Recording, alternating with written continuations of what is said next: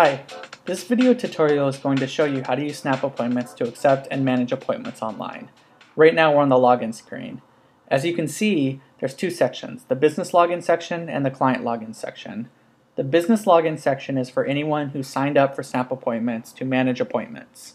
The client login section is for your customers or your clients. Once they've booked appointments with you, they can log in to view their upcoming appointments or to reschedule.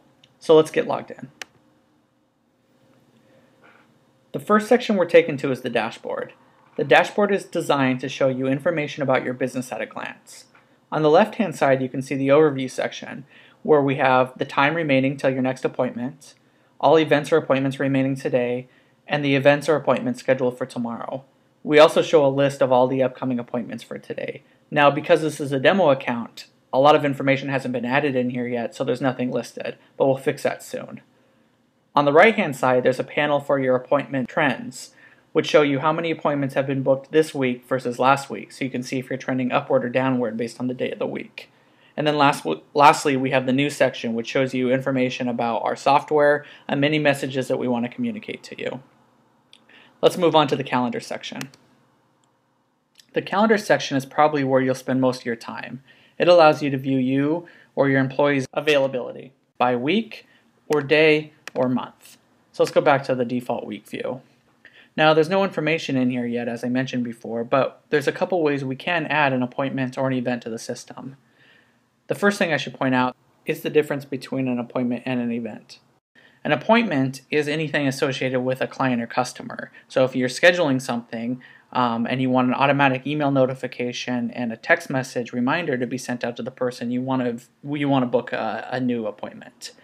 If you're just adding anything like a kid's birthday party or um, a, a, break, um, or maybe you're going on vacation, you can add that as an event.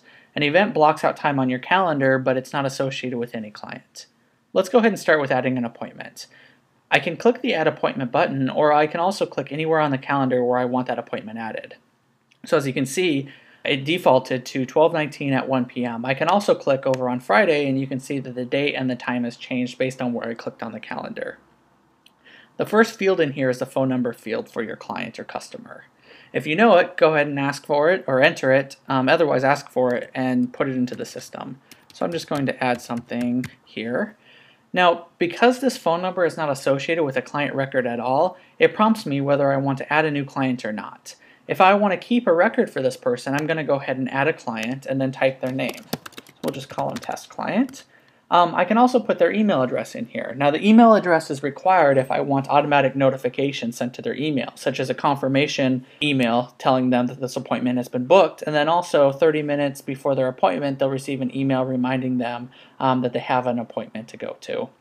So let's just enter something in here.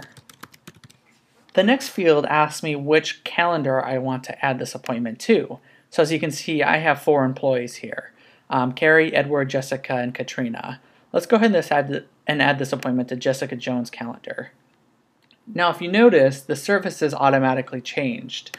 Um, these are the services that are offered by Jessica, um, which you can manage in the settings area. But because Jessica only does three things, she has eye treatments, female haircuts, and male haircuts, the service field updated for those corresponding services. If I go to Katrina, you might see that there's different services added or available. Let's go back to Jessica and say we want a male haircut. Again, it's for 1223 at 12.30 p.m. and the duration is 20 minutes. Now this field is automatically populated based on which service I, I choose. So as you can see, it jumped to 30 minutes. Um, if I need to override the value here for any reason, I can go ahead and add it to the duration. Appointment notes, these are just reminders for me. So if I want to put something special here based on um, on on my test client, I can I can put a little reminder to myself, which is going to show up in the calendar.